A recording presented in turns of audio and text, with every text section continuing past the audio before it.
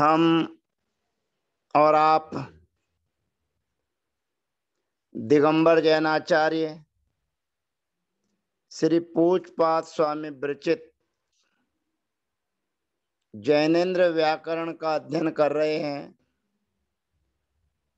और इस जैनेन्द्र व्याकरण के अध्ययन में हम और आप दीर्घ इकारांत शब्द हमारे बीच में हैं। उन शब्दों की प्रक्रिया को आत्मसात करने के लिए दो सूत्र हमारे बीच में है सिनु धू, भ्रवाम, यवो, रचि, युवो। और दूसरा सूत्र है एर गी वाक चा दुगो सुदिया। ये दोनों सूत्र जो हमारे बीच में आए हुए हैं,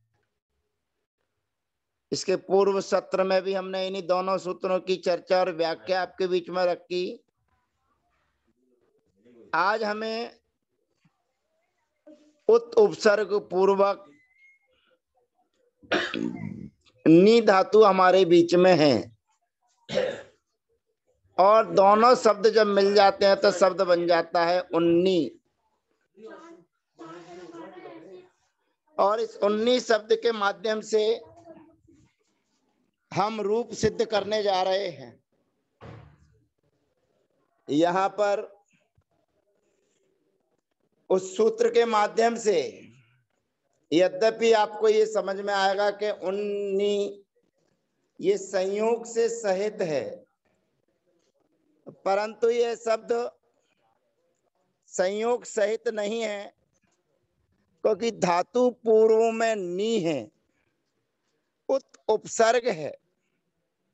और उत उपसर्ग के बाद शब्द बन गया है उन्नी। पंचमे पंचमास तृतीया नवा। सूत्र के माध्यम से उसको ना आदेश होकर शब्द बन गया उन्नी। अब उन्नीस शब्द के रूप जो चलेंगे देखने में, समझने में हमें ऐसा प्रतीत होता है कि ये दीर्घ इकारांत शब्द संयोग से सहित है। और संयोग से सहित होने के कारण हमारा जो ऊपर का सूत्र है, जो आपको 190 नंबर का सूत्र दिख रहा है विष्णु धू, भ्रवाम यवो रचि युवो इस सूत्र के माध्यम से आपको ये आदेश करना है, ऐसा आप समझ सकते हैं। परंतु एरगी वाक चादगो सुदिया, इस सूत्र के अंतर्गत ही ये शब्द है। क्योंकि यहाँ आचार्य भगवंत कहते हैं, नी घी पूर्वात उंग उन्नयती उन्नी। ये घी उपसर्ग पूर्वक, घी माने उपसर्ग, जो उत है, उस पूर्वक ये शब्द हमारे बीच में आया है, उन्नी। तो यहाँ पर इस सूत्र के माध्यम से एर, घी, वाक, चा, दुगो, सुदिया, इस सूत्र के माध्यम से हमें स्वर वाली जो विभक्तियाँ आती हैं स्वर वाली विभक्तियों का मतलब है औ, जस, अम, औ, सस टा गे, गसी, गस, ओस, आम, गी। इन विभक्तियों के होने पर हमें ई के स्थान पर या आदेश करना है। व्यंजन वाली विभक्तियाँ आने पर उनको जोड़ देना है, तब उन्नी, धन सी। सर्वप्रथम सजुसो री। सूत्र के माध्यम से सा के स्थान पर रा आदेश करेंगे और रा आदेश के बाद में विरामे विसर्जनिया। सूत्र के माध्यम से विसर्जनीय आदेश होकर पहला शब्द बन जाएगा उन्नी। आदि विभक्तियों के आने पर एरगी वाक चा दुगौ सुदिया सूत्र के माध्यम से ई के स्थान पर यह आदेश होकर प्रयोग बनेगा उन्यो जस विभक्ति के आने पर एरगी बाक चा दुगो सुदिया सूत्र के माध्यम से ई के स्थान पर यह आदेश होकर और सजुसो री और वा विरामे विसर्जनीय सूत्र लगाकर अझीनम परेण संयोज्यम से शब्दों को जोड़ देने पर बहुवचन में शब्द बनेगा उन्या संबोधन में भी इसी प्रकार से हे उन्नी, हे उन्नियो, हे उन्निया। दो बार ना है। दोनों बार ना का ध्यान रखना है उच्चारण के समय। फिर अम विभक्ति के आने पर एरगी वाक चादुगो सुदिया अब इतने को ध्यान रखना है। इस सूत्र की प्रक्रिया को करते समय सर्वप्रथम हमें अच्छी को यण सूत्र की प्राप्ति करना है। और सिनु धू भ्रवाम यवो रचि युवो। सूत्र के माध्यम से ये आदेश की प्राप्ति करनी है। फिर जाके हमें एरगी वाक चादुगो सुदिया सूत्र के माध्यम से या आदेश करना है। सीधा सीधा या आदेश नहीं करना है। पहले अची को यण, इस सूत्र की प्राप्ति, और सिनु धू भ्रवाम यवो रची यवो, सूत्र से ये की प्राप्ति और उसके बाद में सूत्र लगाना है एरगी वाक चा दुगो, सुदिया। इसके माध्यम से हमको यह आदेश करना है। तो अम विभक्ति के आने पर उन्यम अविभक्ति के आने पर उन्यो, और फिर जस और सस विभक्ति के आने पर उन्या, का विभक्ति के आने पर एरगी वाक चादुगो सुदिया। सूत्र के माध्यम से यह आदेश होकर प्रयोग बनेगा उन्या। अभ्याम आदि विभक्तियों के आने पर हमें कुछ भी नहीं कर रहा है, करना है। उन्नी भ्याम, उन्नी भी अब गे विभक्ति के आने पर गेम से ये बचता है उन्नी उन्नी भ्याम उन्नी भ्या पंचमी में घसी विभक्ति के आने पर अस बचेगा। और फिर हम एरगी वाक चादुओ सुदिया। सूत्र से यह आदेश करेंगे तो शब्द बन जाएगा उन्नी भ्याम भ्यास में उन्निभ्याम उन्निभ्या उन्नीभ्या। पंचमी में उन्या उन्नीभ्याम और उन्नीभ्या।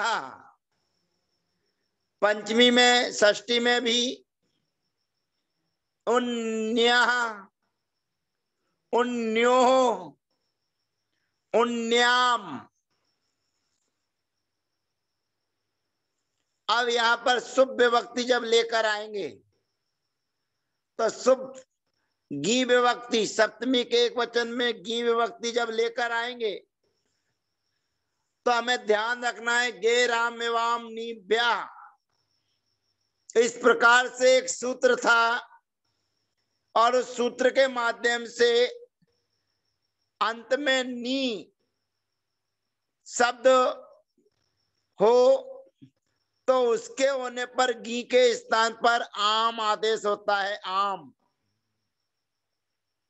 जैसे अति लक्ष्मी शब्द में लेकर आए थे तो वहाँ पर घी के स्थान पर आम किया था तो यहाँ पर भी। जो घी विभक्ति है, उसके स्थान पर आम आदेश करेंगे। और एरगी वाक चाद को सुदिया। सूत्र के माध्यम से ई के स्थान पर यह आदेश अजीनम परिण संयोज्यम के माध्यम से जोड़ देंगे तो बन जाएगा उन्याम।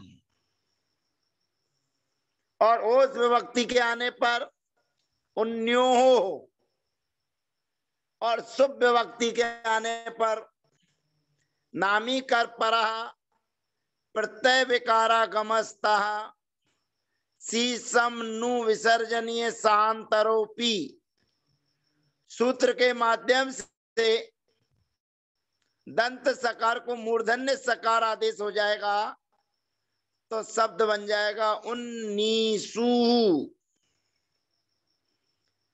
अब इस प्रकार से गी और पूर्वक शब्द की सिद्धि हो जाती है। इसी प्रकार से परणी प्रकष्टम ध्यायती प्रधि। इसी प्रकार से प्रधि माने अच्छी, धी अच्छी बुद्धि, इसके भी रूप समझना चाहिए। अब ये ध्यान रखना, सूत्र में केवल सुदिया सुधी शब्द को या आदेश नहीं होगा। अर्थात सुधी शब्द के तो ये आदेश होगा।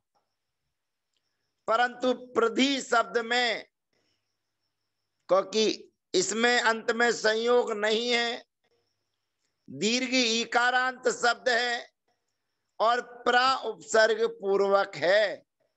जैसे उत उपसर्ग पूर्वक, नी धातु थी ऐसे ही प्रावसर पूर्वक हमारे बीच में धी धातु है। धी तो बन गई है, ध्यय धातु थी, ध्यय तो प्रधि जो शब्द है वो दीर्घ इकारांत है। और दीर्घ इकारांत शब्द में ये पुरलिंग शब्द है। अच्छी बुद्धि वाला व्यक्ति प्रधि कहलाता है। स्वतंत्र रूप से यदि हम धी के रूप चलाएँगे तो वह स्त्रीलिंग कहलाएगा। प्राउपसर्ग पूर्वक चला रहे हैं। इसलिए पुरलिंग शब्द है अच्छी धी, माने अच्छी बुद्धि वाला। तो यहाँ पर इष्णु धू भ्रवाम यवो रची सूत्र की प्राप्ति से ये आदेश होना है अच्छी को यण सूत्र से या की प्राप्ति होना है। और सिनु धू भ्रवाम यवो रची यवो सूत्र से ये आदेश की प्राप्ति है। परंतु एरगी बागचा दगो सुदिया सूत्र की शर्त मिलने से इसको ई के स्थान पर यह आदेश होगा तो बन जाएगा प्रध्यो। तो प्रधि धन सी सर्वप्रथम स सजुसो री और ब्राह्मी विसर्जन यहाँ तो शब्द बन जाएगा प्रधि। ही अविभक्ति के आने पर शिनु धू भ्रवाम यवो रची वो और अची को यण इन दोनों सूत्रों की क्रमशः प्राप्ति होने के बाद, एरगी वाक चादुगु सुदिया। सूत्र के माध्यम से प्रधि में रहने वाली जो ई है, उसको या आदेश होकर बनेगा प्रध्यो। जस विभक्ति में भी एरगी वाक चादुगो सुदिया से या आदेश हो जाएगा तो प्रध्या। समुद्धि में भी इसी प्रकार से, हे प्रधि, हे प्रध्यो, हे प्रध्या। अम आदि विभक्ति के आने पर प्रध्यम, प्रध्यौ प्रद्य तादि विभक्ति के आने पर प्रध्या प्रधिभ्याम प्रदीभी। चतुर्थी विभक्ति में प्रध्ये प्रधिभ्याम प्रधिभ्य पंचमी में प्रध्या। प्रधिभ्याम प्रधिभ्य ष्टी में प्रध्या प्रध्यो प्रध्याम अब यहाँ पर घी विभक्ति आ रही है। अब घी विभक्ति के आने पर यह ध्यान रखना है। यहाँ पर अची को यण सूत्र की प्राप्ति है। स्वे को दी। सूत्र की प्राप्ति है, शिनु धूब्रवाम यवो रची युव। सूत्र के माध्यम से ये की प्राप्ति है। परंतु एरगी वाक चाद सुदिया। सूत्र के माध्यम से ई के स्थान पर या आदेश होगा। और ये विशेष ध्यान रखना कि गे राम में वाप निव्या सूत्र यहाँ पर नहीं लगेगा, क्योंकि वो केवल नी शब्द से या घी और आपके लिए घी के स्थान पर आम आदेश करता था। तो यहाँ पर जो प्रधि शब्द है, वो स्त्रीलिंग नहीं है और अंत में नी धातु भी नहीं है। इसलिए जो घी विभक्ति में रहने वाले को अपन औ आदेश करते थे, आम आदेश करते थे, वो आम आदेश नहीं होगा। केवल ई जाकर मिल जाएगी अजीनम परेन संयोज्यम। तो बन जाएगा प्रधी धा या ई प्रधि और उस विभक्ति के आने पर प्रध्यो और शुभ व्यक्ति के आने पर नामी कर परा प्रत्यय विकारा गमस्ता सी सम नु विसर्जनीय। शांतरोपी सूत्र के माध्यम से प्रधि सुहु ये प्रयोग सिद्ध होता है। जैसे हमने ग्रामणी, जैसे हमने उन्नी शब्द के रूप चलाए थे, ऐसे ही सेना उपद रहते हुए नी धातु के रूप चलाएँगे तो शब्द बन जाएगा सेनानी। अब सेनानी शब्द में अनेक स्वर हैं, अनेक कच हैं और अनेक कच होने के कारण ई के स्थान पर या आदेश की प्राप्ति है। या ही होगा। ये नहीं होगा, क्योंकि यहाँ पर संयोग से रहित है। अनेक अक्षर है और अंत का अक्षर संयोग से रहित है। तो संयोग से रहित होने के कारण इस सेनानी शब्द के रूप भी ग्रामणी और नी शब्द के समान ही सिद्ध होते हैं। ऐसा जानना चाहिए। जैसे शिव विभक्ति के लाने पर विसर्ग आदेश हो जाएगा तो बनेगा सेनानी। अविभक्ति के आने पर अची को यण और सिनु धू भ्रवाम, यवो, रची, वो सूत्र के माध्यम से उप आदेश की प्राप्ति होने पर ये आदेश की प्राप्ति होने पर एर की वाक चादगो सुदिया सूत्र से यह आदेश होकर शब्द बन जाएँगे सेनान्य। अब स्वर वाली विभक्तियों में हमें ई के स्थान पर केवल यह आदेश करना है एरगी वाक एरगी वाक चादुगो सुदिया। तो सेनान्यौ सेनान्य संबोधन में भी इसी प्रकार से, हे सेनानी, हे सेनान्यो हे सेनान्य हम द्वितीय आदि विभक्ति में, सेनान्यम सेनान्यौ सेनान्य तृतीय विभक्ति में सेनान्या सेनानी भ्याम सेनानी भी सेनान्ये सेनानी भ्याम और सेनानी भ्या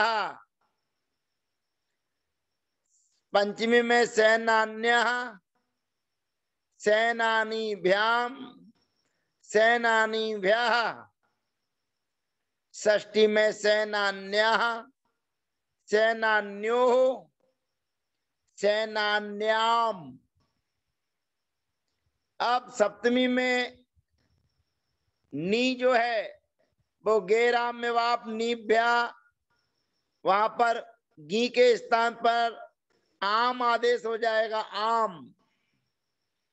और ई के स्थान पर यह आदेश हो जाएगा घी के स्थान पर आम।